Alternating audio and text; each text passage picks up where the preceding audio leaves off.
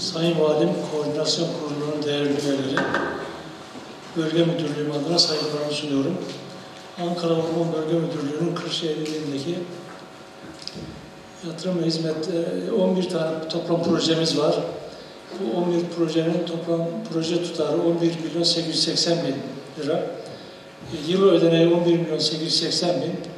Bu dönem sonuna kadar yapılan harcama 4 milyon 470 bin 488 lira. Parasal gerçekleşme yüzde 40, fiziki gerçekleşme yüzde 80. Biten proje 1, devam eden 10, başlanılmayan proje yok, ee, ödenekler var.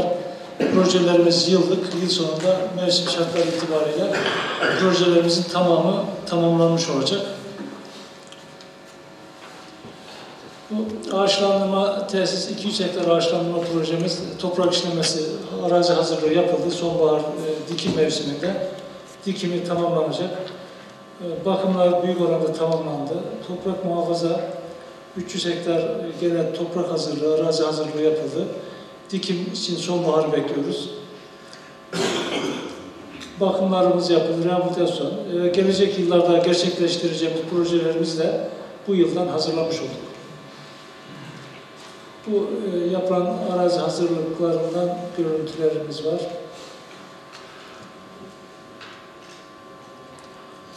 Bu geçen yıl yaptığımız e, tıbbi aromatik bitki, lavanta ve diğer bazı bitkiler, tıbbi bitkilerin dikimiyle ilgili onların bakımına devam ediyoruz.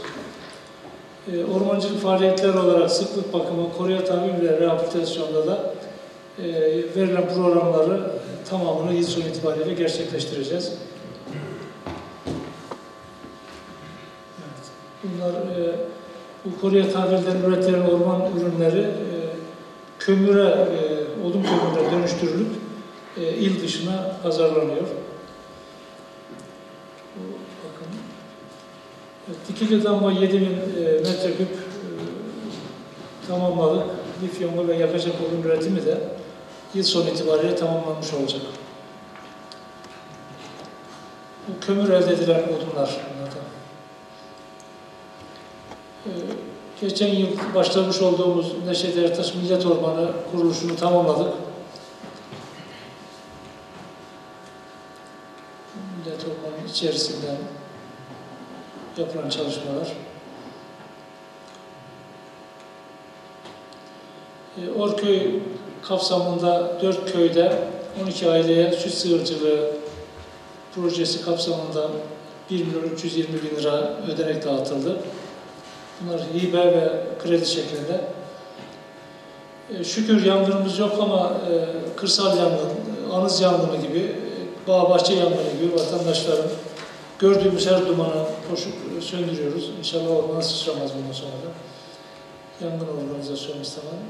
Orman yollarımıza bakımını yapıyoruz.